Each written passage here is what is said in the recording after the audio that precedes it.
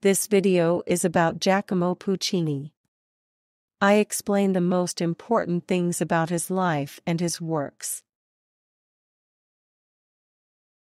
Giacomo Puccini was born in Lucca, Italy, on December 22, 1858. He came from a musical family that had produced musicians for generations. When his father died, Giacomo assumed the position of church music director in his hometown. Puccini showed an early interest in music and began composing at a young age. Puccini went to Milan to study at the Milan Conservatory.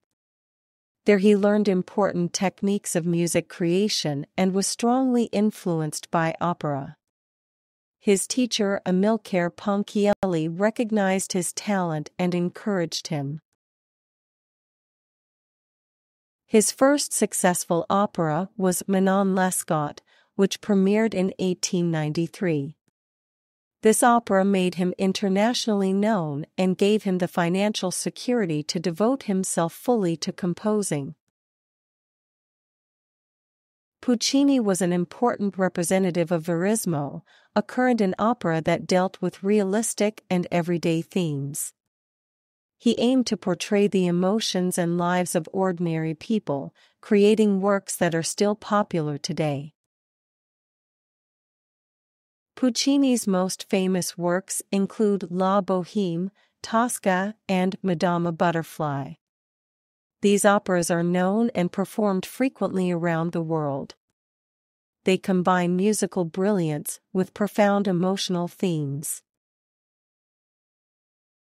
Puccini was known for his ability to craft melodies and harmonies to effectively convey the emotions of the characters and the plot of the opera.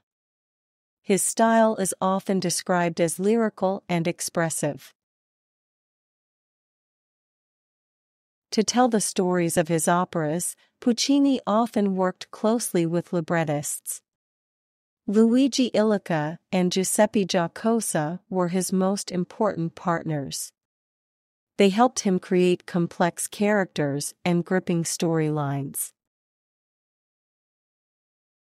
As time went on, Puccini continued to develop his style and experiment with different musical forms. He worked on his last opera, Turandot, until shortly before his death in 1924, which remained unfinished. Puccini's influence on the opera world is still felt today. His works are performed around the world and have inspired many subsequent composers. He is often considered one of the greatest opera composers of all time.